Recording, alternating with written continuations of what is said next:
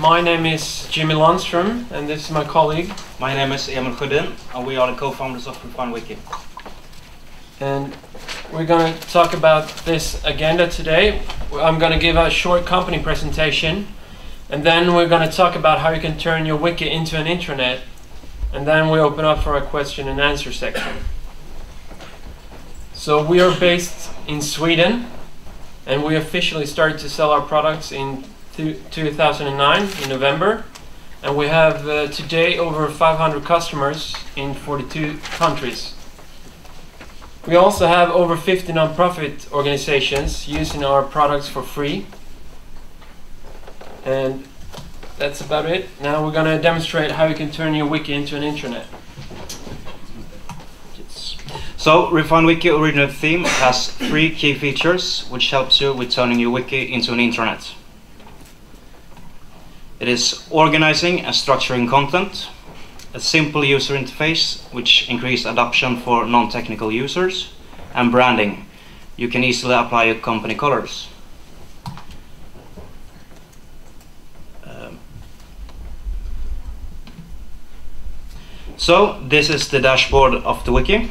Here you find news, a recent activity stream, and all spaces. The dashboard can easily customize with wiki markup. So you just press the edit dashboard button and you can change. So in this example we will add some information and we will use a simple info macro. And when you're done you just save it. And the result is turning up on the top of the dashboard. Organizing content.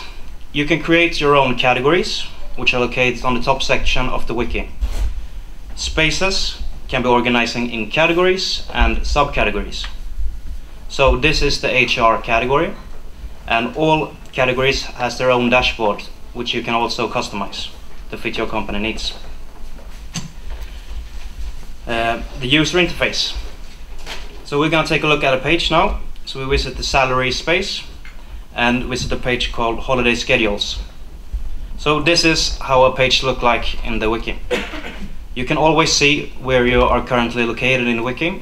So we see here we are in the HR category, and we visit the salary space, and we're viewing the holiday schedule page.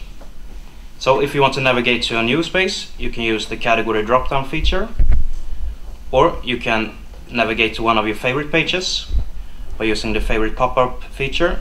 You see your favorite spaces and pages and the search bar is always accessible as well.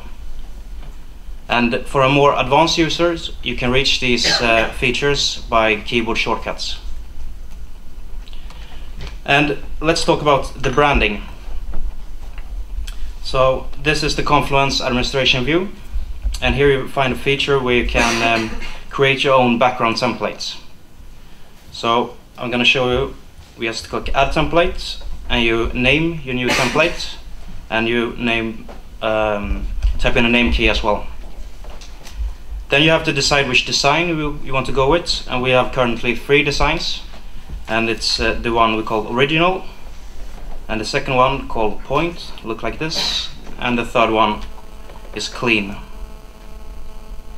So we're gonna go with the point one this in this example and then we have to choose which background color we want.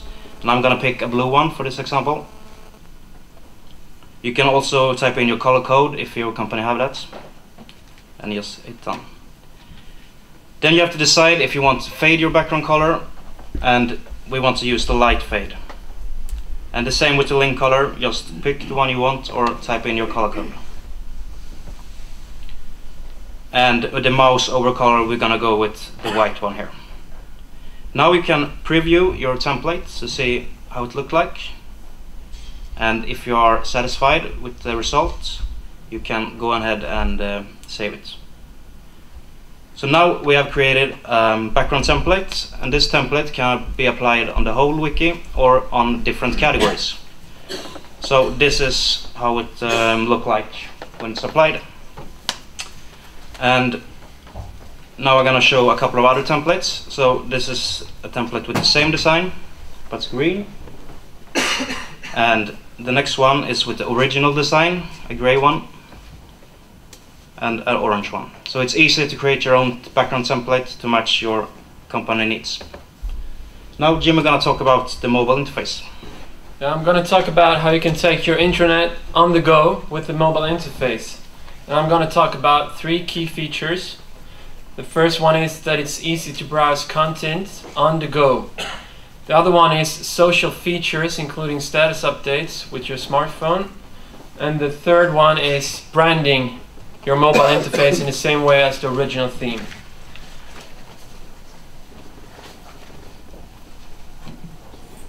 So this is the first page of the mobile interface and you can also easily see recent activities.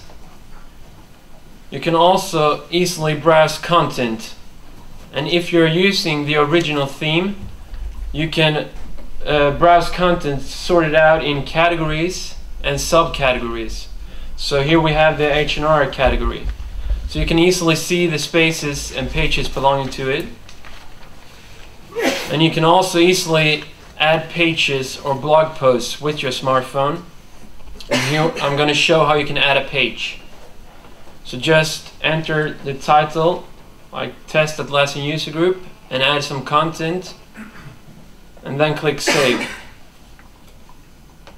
And then you can see the page. I'm going to talk about the social features.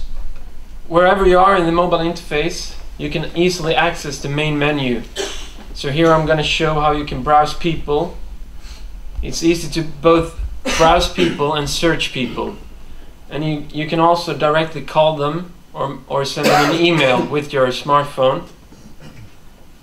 And you can also easily view their personal page. Another social feature is that you can view or add your own status updates. So if you're on a conference like this Atlassian User Group event, you can easily add status update and use your intranet in the same way as Twitter. So here I just write the content and then click update.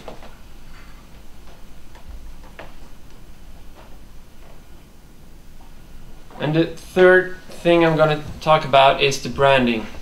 So you can also decide if you want to show your logotype within the mobile interface or add a message in the footer of the mobile interface.